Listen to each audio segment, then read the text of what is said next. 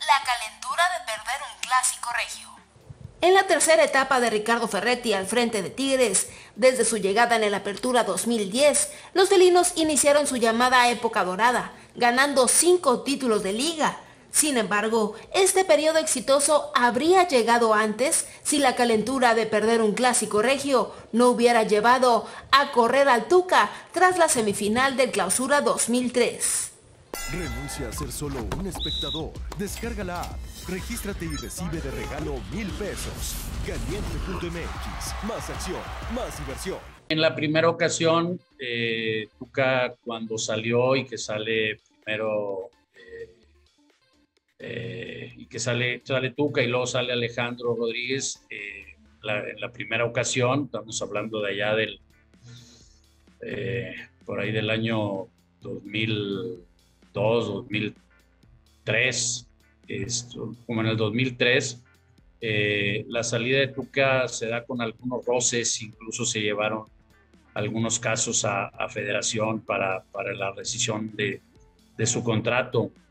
Eh, entonces hubo roces entre Tuca y, gente directiva de Cemex que no participaba en Sinergia Deportiva directamente, pero que finalmente tomaba las decisiones y, de ahí es donde, donde también eh, se da la salida de, Tuca de una manera eh, forzada, eh, después de perder una, una semifinal, teniendo contrato, tras la salida de Ferretti en el 2003, poco a poco Tigres comenzó a complicarse sus torneos, por lo que previo al clausura 2006, Fernando Urdiales pidió el regreso del Tuca, aunque el gusto le duró solo un torneo. Nunca lo he dicho, nunca lo he dicho públicamente, pero ahora que me lo preguntas te lo diría. Eh, para mí fue muy frustrante el haber batallado en convencer a los dueños del equipo para para traer por segunda vez a Tuca Ferretti, estando Miguel Ángel Garza este, como, presidente, como vicepresidente en ese momento conmigo en, la directiva. Y después de un torneo, y, vamos, y convencer a Tuca de venir cuando la primera vez que se fue había tenido este, algunos inconvenientes su salida, finalmente convencí a, a los directivos de Cemex para, para traer a Tuca y después de seis meses, este, la decisión fue de ellos, de que Tuca no siguiera.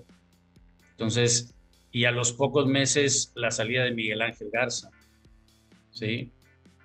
Cosa que para mí pues, fue muy frustrante porque lo que originalmente se había dicho que iba a tener todo el apoyo para la toma de decisiones, a partir de ahí se desvirtuó y por eso eh, yo también pedí mi, regreso a la empresa y, y dejar las, responsabilidades en, sinergia deportiva.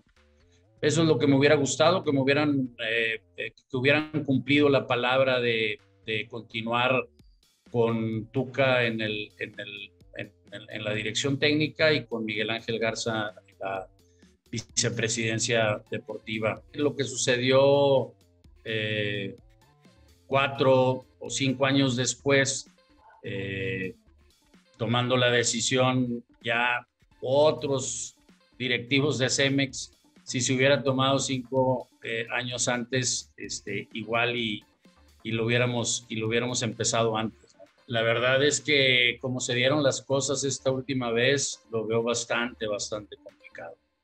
Eh, yo ya no estoy en la institución, yo salí de Cemex ya hace un buen tiempo, y, pero pues, tengo, tengo, vamos a decir, contacto con gente que está en la empresa y, la verdad, por cómo se dieron las cosas y lo que se dejó saber, pues yo veo difícil eh, una, una, cuarta aparición de, de, Tuca, pero pues no imposible, este, así se decía en las ocasiones anteriores y, regresó.